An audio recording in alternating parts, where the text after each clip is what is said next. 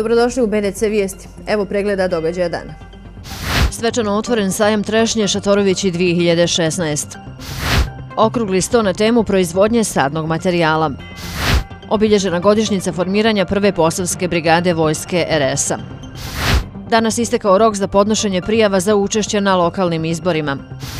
Pronađena tijela putnika iz egipatskog aviona.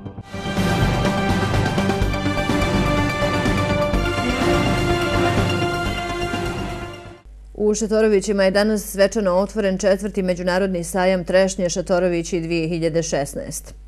Kao i prethodne tri godine okupio je mnoge izlagače, ali i ljude koji su zainteresovani da ovaj kraj procvjeta kao izvoznik ove kulture na inostrano tržište. Sajam Trešnje u Šatorovićima svečano je otvorio gradonačelnik Brčko distrikta, pocrtavši da je poljoprivreda grana koja je okosnica razvoja naše kraja i u koju se mora ulagati. Stoga je i sajem trešnje prilika da se ovo polje unaprijedi. Nama je važno da se upoznamo sa obimom djelatnosti kako bismo u istinu mogli e, kroz e, vladine mjere pri pomoći ljudima da se taj proizvod na ispravan način e, i uzgoji, da se na ispravan način ubere, ali isto tako da se na najbolji mogući komercijalni način plasira taj proizvod da bi ljudi od tog svog rada mogli u istinu i kvalitetno i dobro živjeti. E, četvrti je po redu sajam, e, prošli smo, kako rekao, te porođajne muke. E, vjerujem da će u budućnosti pristupiti nekim drugim mjerama i radnjama koji će i ovaj sajam oplemeniti, koji će ga dignuti na viši nivo, ali isto tako da će se primijeniti i druge mjere koje će ovaj proizvod moći konzervirati, zaštititi i kako bi on mogao u kontinuitetu biti plasiran za tržište. Da afirmišemo one poljoprivrednike koji uzgajaju trešnju i stvorimo uslove da se potencijalno pronađu otkupljivači koji bi dakle e, dobili dobru trešnju, a s druge strane naši poljoprivredni proizvođači bili zadovoljni svojom proizvodnjom i mogućnošću da i u, dakle, u godinama koje su pred nama da još više ulažu u, u, u zasade trešnje, a također dobra je prilika i da se evo na neki način sa lokalnom firmom Bosnaplod E, stvore neki uslovi za kooperaciju kako bi dodatno i u oblasti dakle voćarstva stvorili se uslovi da se jedna, jedna organizovana saradnja obezbijedi. Možemo zaista iz prethodnih tri godine kazati da smo postigli već određeni dobar efekat oko proizvodnje, pogotovo plasmana, dakle proizvedene robe, tržište, otvoreno je tržište širom Evrope, tako da jednostavno može se plasirati i što je vrlo bitno naplatiti sve što se proizvede. Dakle, efekat sajma je u svakom slučaju postignut i mislim da ne treba stati na ovakvim ovaj manifestacijama i, i, i u ovom okviru. Ovo treba jačati da zaista dostigne regionalni karakter, da ne kažem i evropski karakter. Organizatori su zadovoljni načinom na koji su uspjeli sve posložiti kako bi i ovogodišnji sajam trešnje u Šatorovićima bio na jednom kvalitetnom nivou.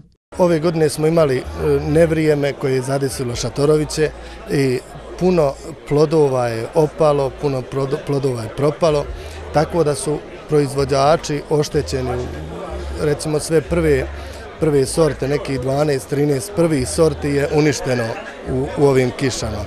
To je otprilike neku večer smo na sastanku baš raspravljali o tome i prijavljivali su se koji su imali štete. Nešto oko 250 do 300, 320 hiljada maraka imali su štete na tim prvim, na, na tim prvim sortama gubitaka. Ali eto, nadam se da će ovo sad vrijeme biti bolje, da, da, ide, da idu u ljepši, bolji dan, bar da ovi zadnji 12, 13, 15 vrsta koliko je ostalo još trešnjih, 15 sorti koje je ostalo, da njih iskoristi na, na najadekvatniji način, na najljepši način. Kada je pitanju sam sajem, evo, ko je sve uzao učešće, koliko je izlagača, što, što očekujete na kraju krajeva? Pa, ove godine su e, te neprilike vremenske napravile ma, malu pometnju. Ove godine imamo 40 izlagača samo trešnje, a trebalo je da bude više. Imali smo problema neki sa ovim e, prijateljima iz Kruševca iz Srbije, zato što oni ne mogu prenijeti tu trešnju na preko granice moraju. Nismo mi e, još ušli u, sa, e, u kalendar sajmova, E, Bosne i Hercegovine. Ja se nadam da, da je to vlada naša prepoznala, a ovom prilikom im se zahvaljujem na onoj brizi i na trudu koji su uložili da nam pomognu da, da organizujemo ovaj sajam u ovakvom obliku. Sajam trešnje u Šetorovićima bio je prilika da organizatori dodijele i zahvalnice svima koji su pomogli u organizaciji i promociji ovog izuzetno važnog događaja za Brčko distrikt. U sklopu programa Sajma trešnje u Šatorovićima sinoć je u ovom mjestu održan okrugli sto. Okupio je značajan broj poljoprivrednih proizvođača, ali i eminentnih predavača. I poljoprivredni proizvođači moraju ići u korak sa vremenom ako žele da njihovi prinosi zadovolje očekivanja i potrebe. Iz tog razloga potrebna je edukacija, a okrugli sto kakav je upriličen sinoć u Šatorovićima samo je jedan primjer kako doći do informacije i kvalitetno je primijeniti na terenu.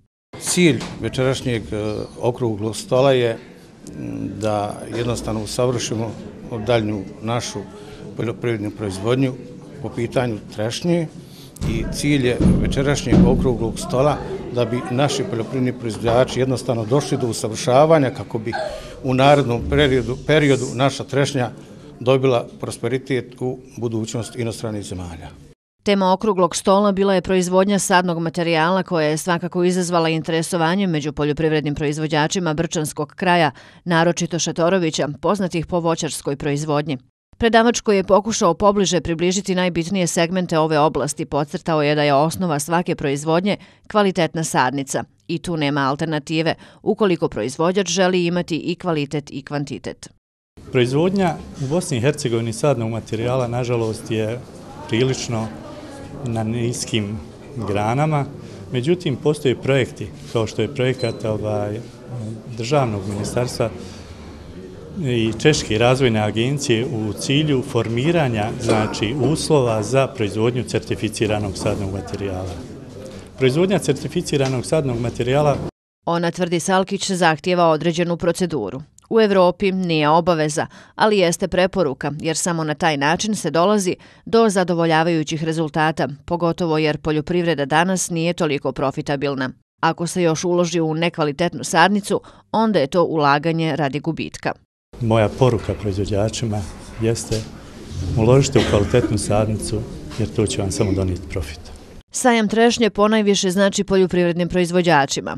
Prilika je to ne samo da se trešnja izloži i proda, nego da se i kroz ovakva predavanja sami proizvođači usavrše i nauče nove prakse u proizvodnji.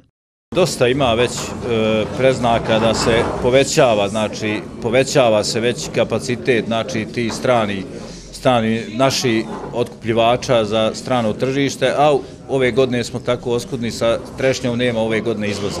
Izvoza nema zbog vremenskih prilika koje su negativno utjecale na trešnju i njen rod. Što se tiče trešnje ove godine, rane sorte je 90% uništio mraz i one hladne hladnoće koje su bile u proljeće. Znači, mi kao Šatorovići imamo zastupljeno 50% tog burlata koji je stradao. Ove kasnije sorte su ostale nešto, to se vidi iz priloženog, sad smo pogledali, a na par snimaka gdje smo vidjeli da ima, znači, kasniji sorti kao što je Merkan, Regina i ostale, a Burlat koji je najviše zastupljen, on je 90%, 90 uništen. Ove godine se pokazalo e, na jednom zasadu trešnje na Gizeli, koja je uspjela da na neki način iznese bolji rod, a na Sijancu isti, znači ista sorta Merkant, na sijancu nije uspjela iznijeti e, neku količinu, ostalo je nešto, ali je odbacila dosta cvjetova. Šatorovljani su ipak vrijedni ljudi, te se unatoč tome što im vrijeme nije išlo na ruku trude iz svega izvući maksimum. Nama je cilj svoje proizvode plasirati u svijet, da svijet zna za nas. Mi od svog rada jako možemo kvalitetno živjeti, samo je problem plasmanu roba. Ove godine sva trešnja je plasirana na domaće tržište. Proizvođači se nadaju da će već naredna sezona biti nešto bolja i da im vrijeme neće biti neprijatelj.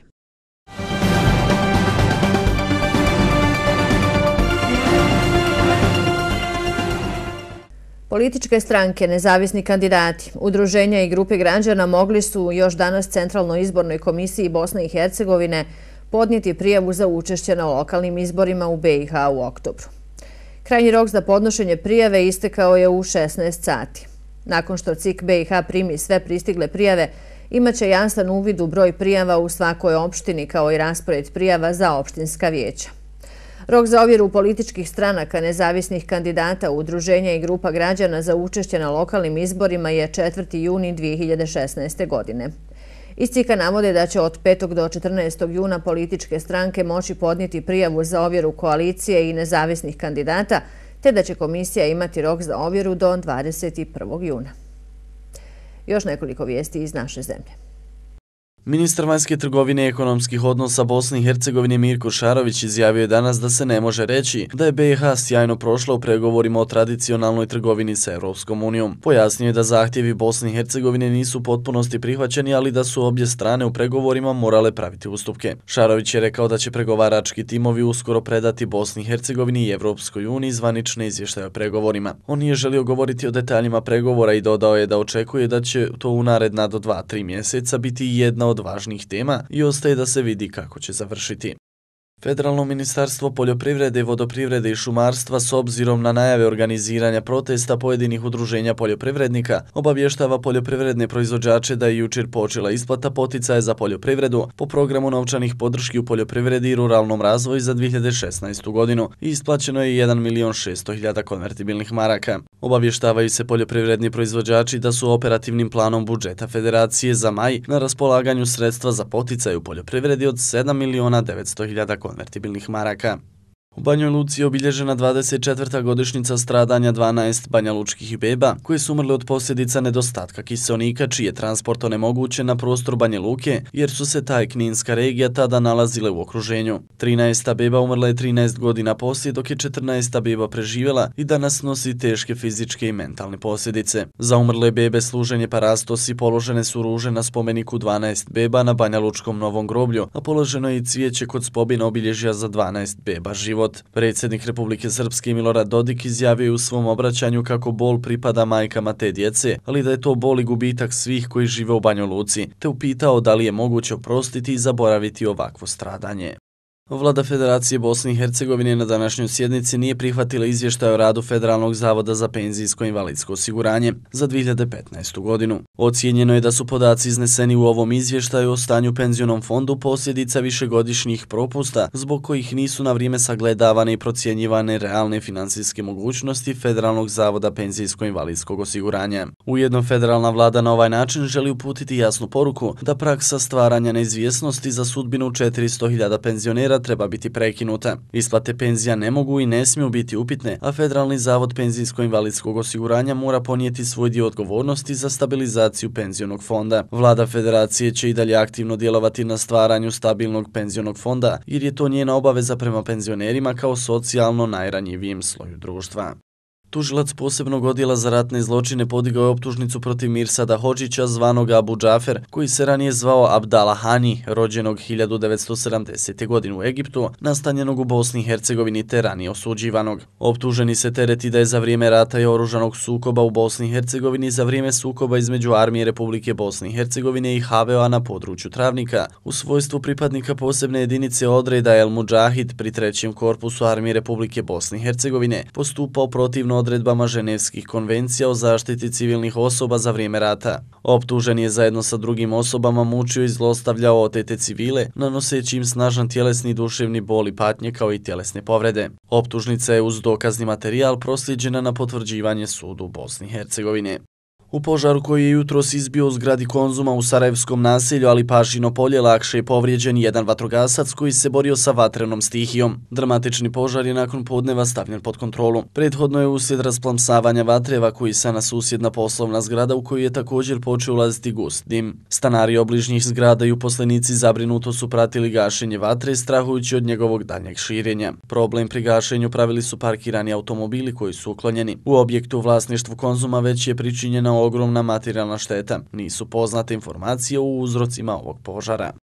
Administratorica razvojnog programa Ujedinjenih nacija UNDP-a, Helen Clark, Izjavila je danas u Sarajevu da se može očekivati da će se ekstremne vremenske nepogode pogoršati u narednih 60 i više godina, a da se na Zapadnom Balkanu mogu očekivati češće i jače poplave, više suša, toplotnih udara i požara. Ona je na prezentaciji regionalnog izvještaja o humanom razvoju istakla da je neophodno jačati otpornost na takve situacije u Bosni i Hercegovini i susjednim zemljama, jer čak i kad bi Parijski ugovor o klimatskim promjenama bio u potpunosti ispoštovan, morale bi proći decenije da se klima stabilizira. Precizirala je da proci procijenjena materijalna šteta od poplava koje su zadesile Bosnu i Hercegovinu u 2014. godini iznosi 2 milijarde dolara, uključujući i ekonomske posljedice, a da šteta u ljudskim životima, patnji i raseljavanju ne može ni biti procijenjena.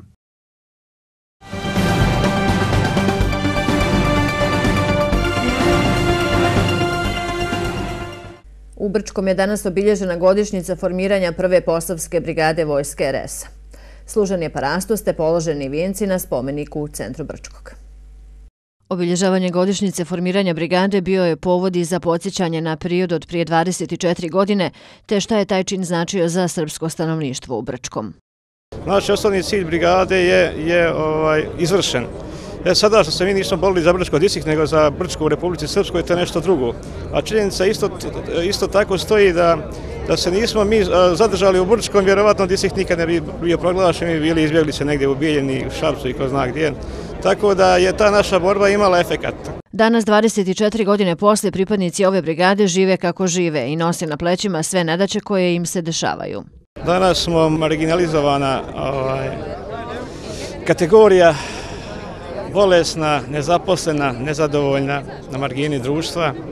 Ovaj, takva nam je sudbina otprilike, takva nam je vijekovima, ne samo posle ovog rata. Nezadovoljni smo naravno, borimo se koliko možemo na neka veća prava, ali to sve ide sporo i teško. A sjećanja će navirati dok smo živi, ovo što je preostalo, ali vidite kako izgleda, svaki dan smo sve stariji, sve nemoćniji, a sve se manje više ne vodi ta briga o, o ljudima koji su preživili to što se dogodilo prije 24 godine. Danas se ovako okupljamo u ovom malom broju. Nažalost, mali je sprem veličine koja nas je zadesla tragedija, ali šta da se radi? Ne možemo mi to promijeniti. Život ide dalje. Idemo, živimo, borimo se koliko možemo. Oni koji su se borili tada, čini mi se da se i sada bore oni koji nisu tada i sad se nedje okolo pa posmatraju ovako kako to izgleda. Obilježavanje godišnjice formiranja brigade bila je prilika i da se oda pomen svima koji su izgubili svoje živote. Njima za duše služen je parastos, a na spomenih su položeni vijedci.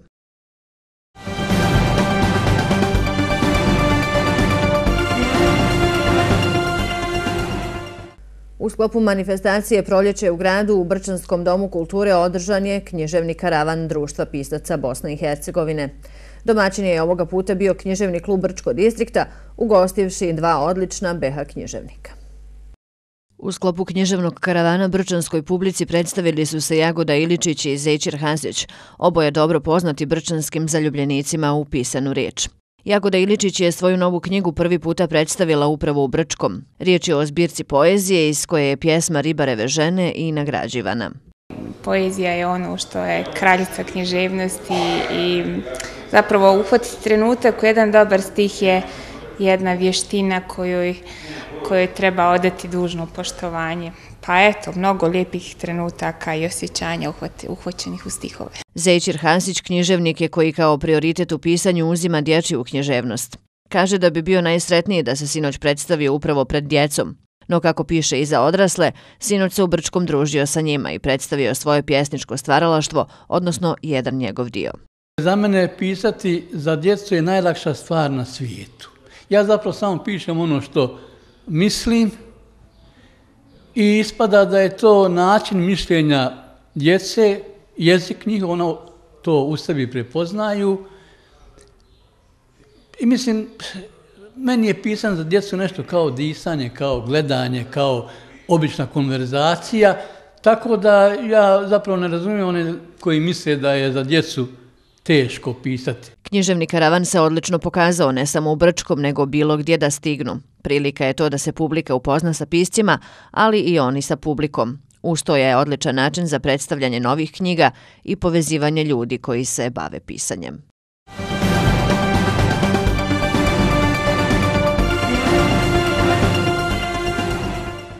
Ministarstvo odbrane Grčke saopštilo je da su pronađena tijela stradalih putnika palog aviona kompanije Egyptair. Kako navodi dopisnica Timesa iz Atene, izvori iz Ministarstva odbrane je saopštio da su pronađeni dijelovi olupine kao i prtljak. Navodi se da su ostaci aviona kao i tijela stradalih putnika pronađeni oko 8 km od mjesta gdje je egipatska letjelica posljednji put primjećena na radaru. U padu aviona poginulo je 66 članova posade i putnika. Ne isključuje se i mogućnost terorističkog napada. Nastavljamo svjetskim aktuelnostima. Salah Abdeslam, preživjeli učesnik terorističkih napada u Parizu u novembru prošle godine, danas je prvi put bio na ispitivanju pred francuskim istražiocima. Abdeslam je mjesecima bio najtreženi bjegunac u Evropi dok nije uhapšen 18. marta u predgrađu Brisela, Molenbeku, gdje je odrastao. Abdeslam je odbio da odgovori na pitanja u svom prvom pojavljivanju pred sudijom u Parizu, saopštio je njegov advokat Frank Berton. Advokat je rekao da je njegov klijent iskoristio pravo da šuti i saslušanje brzo okončano prenjuje AP. Berton je izjavio novinarima da je njegov klijent uznemiren zbog 24-satnog video nadzora u zatvoru sa maksimalnim obezbjeđenjem. Abdeslam je prošlog mjeseca rekao kako želi da sve objasni. Generalni sekretar NATO-a Jens Stoltenberg je rekao je danas da postoji široka saglasnost da se zatraži novi sastanak sa Rusijom prije susreta lidera alijanse u Varšavi u julu. Stoltenberg je izjavio da je na sinoćnjoj večeri ministara spoljnih poslova zemalja alijanse postignut dogovor da se nastavi jačanje odbrambenih snaga NATO-a, ali i da se pokrene dijalog sa Kremljom. On je dodao da su se ministri složili da je u sadašnjoj situaciji potrebno imati platformu kakvo je vijeće NATO-Rusija da bi potezi bili transparentni i predvidljivi prenio AP. Evropska unija je na ivici kolapsa uprkos milijardama eura koje se troši na njeno očuvanje, izjavila je lider francuskog desničarskog nacionalnog fronta Marine Le Pen. Na dva stuba na kojima je ona zasnovana Schengen i euro su u procesu urušavanja. To je silazna spirala u kojoj oni pokušavaju da učine sve da održe ovu građevinu, rekla je Le Penova u intervju Rashi Today. Ona vjeruje da ne postoji pitanje da li će se unija urušiti, nego kada će se to desiti. Evropska unija sija svjetlom umrle zvijezde, a njeni lideri pokušavaju da kupe vrijeme po cijeni milijarda milijardi da bi održali ovu strukturu uspravnom, rekla je Lepenova. Ona je ukazala na prijetnju da se uvede kazna za države koje ne primaju migrante od 250.000 eura za svaku osobu. Ona podržava izlazak Britanije iz Evropske unije i nada se da će taj događaj inspirisati sličnu kampanju u Francuskoj. Ako Francuska istupi iz Evropske unije, Unija više ne postoji, zaključila je Lepenova. Chai Ing-wen položila je zakljetvu kao novi predsjednik Tajvana, čime je postala prva žena na ovom položaju prenijeli su danas lokalni mediji. Chai, koja je lider demokratske napredne stranke, pobjedila na predsjedničkim izborima 16. januara, usvojivši više od 56% glasova. Prema podacima Ministarstva vanjskih poslova Tajvana, dolazak na inauguraciju najavilo je skoro 700 šefova država, diplomata i ostalih uglednih gostiju, prenio je Sputnik. Chai je obećala da će očuvati neizmijenjeni status de facto nezavisnosti stabilnosti Tajvana, što bi moglo dodatno da optereti odnose sa Kinom. Hillary Clinton je u jednoj od svojih najoštrih izjava o mogućem kandidatu republikanske stranke Donaldu Trumpu kazala kako on nije kvalifikovan da bude predsjednik Sjedinjenih država. U intervju za CNN najvjerovatnija predsjednička kandidatkinja demokratske stranke rekla je da sumnja u Trumpovu sposobnost da upravlja složenim vanjsko-političkim pitanjima i osudila je njegove, kako je rekla, neodgovorne, nepromišljene i opasne izjave. Kao takve izjave Clinton je navela to što je Trump nedavno kritikovao Veliku Britaniju, hvalio vođu Sjeverne Koreje te izrazio izrazio sumnju u ulogu Sjedinjenih država u NATO. Za razliku od Trumpa, Clinton je rekla da ona zna koliko je to težak posao, te je zato zaključila da on nije kvalifikovan da bude predsjednik Sjedinjenih država. U indijskom gradu Palodiju izmjerena je rekordno visoka temperatura od 51 stepena, što je rekord za čitavu zemlju od kada se vrši mjerenja. Ova temperatura izmjerena je u pustinji državi Rajasthan. Toplotni talas zahvatio je veći dio sjeverne Indije, gdje temperatura sedmicama prelazi 40 stepeni Celzijevih. Dosadašnji rekord bila je temperatura od 56,6 stepeni, koja je izmjerena 1956. godine. U oči monsunske sezone u Indiji svake godine nekoliko sedmica traje velika vrućina, ali temperatura rijetko rijetko prelazi 50 stepeni, prenio je AFP. Meteorološka služba izdala je upozorenje na ozbiljan toplotni talas širom sjevernog i zapadnog dijela zemlje tokom ovog vikenda.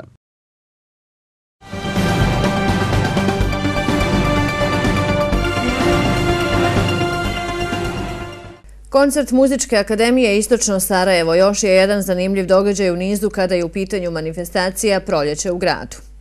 Za ljubitelje ovakve vrste muzike ovo je bio praznik za uši, a svi koji su se sinoć našli u Brčanskom domu kulture zaista su mogli i uživati.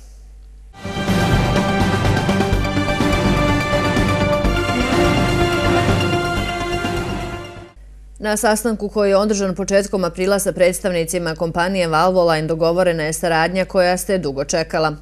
Ova kompanija je preuzela generalno sponzorstvo novog autodogađaja, a sve u sklopu Valvoline Novog Road Showa, koji će biti održan u Brčkom 21. i 22. maja ove godine. Bitno je napomenuti kako se ovaj show održava u sklopu obilježavanja 150 godina Valvoline ulja. Nakon prvog eventa u organizaciji Soundmaster tima, Virtual Road magazina i BDC televizije, održanog prošle godine u sklopu manifestacije Savski cvijet 2015, sve više ljudi prepoznaje trud i želju da se automobilistički entuzijasti ponovo okupe u Brčkom, što će i biti učinjeno u nedjelju 22. maja na platovu Trga Pravde ispred zgrade Cipsa. Sve u svemu, veselimo se novom eventu u našem gradu, veselimo se što učestvujemo u organizaciji istog. Soundmaster Team i VR Magazin su već pokazali što mogu, a sada je tu i Valvoline kao novi član ove porodice. Svima vama želimo dobrodošlicu i vidimo se na drugom Street Style Show District Editionu, poručili su organizatori.